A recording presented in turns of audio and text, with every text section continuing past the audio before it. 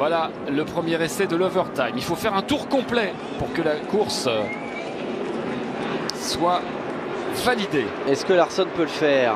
Est-ce que Jones peut le faire?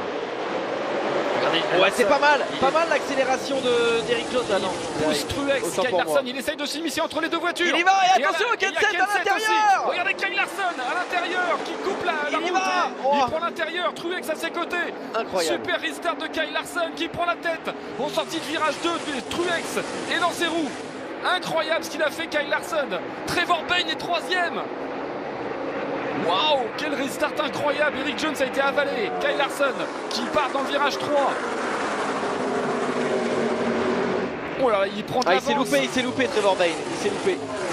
Et Kyle Larson qui va venir passer la ligne et donc euh, on ira au bout, top Quoi qu'il arrive maintenant la course sera décidée soit au drapeau vert soit au drapeau jaune mais en tout cas il n'y aura pas d'autre essai Kyle Larson est bien parti, il a fait un restart de folie C'est un truc de fou. Il est déjà en train de presque de célébrer sa victoire Kyle Larson Ça va faire 3 de suite 3 de suite au Michigan pour Kyle Larson sur un restart de malade avec un Matt Kenseth qui avait attaqué sur l'intérieur. Il a pris la poudre d'escampette, il va les gagner. Aujourd'hui encore, il fait le sweep en 2017. Deux victoires ici pour Kyle Larson. Incroyable, incroyable.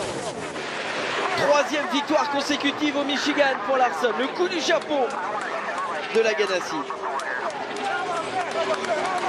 How about that, dit Chip Ganassi. Alors qu'est-ce que tu penses de ça? Bah on est, on est, euh, on, on est stupéfait. On est admiratif. Kyle Larson, troisième victoire de la saison pour Kyle Larson. Je vous ai dit en tout début de reportage, Kyle Larson qui est dans le trou en ce moment, il est dans un passage à vide. On va savoir aujourd'hui au Michigan, un de ses meilleurs circuits, s'il est dans un trou euh, qui va se poursuivre ou s'il va se reprendre. Bah, la, bah, la réponse, vous l'avez. Kyle Larson l'emporte devant Truex. Troisième, Eric Jones. Quatrième, Oh, oh, Newman. oh. Quatri- là, là, il a- non mais là il a surtout arraché la- tout l'avant-droit. hein. Quatrième Newman, cinquième Trevor Bayne, sixième Chris Boucher, septième Austin Dillon, huitième Chase Elliott, neuf McMurray, dix Kyle Busch. Où est Kenseth?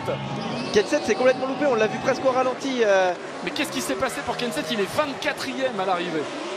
Qu'est-ce qui s'est passé pour Matt Kenseth? C'est incroyable.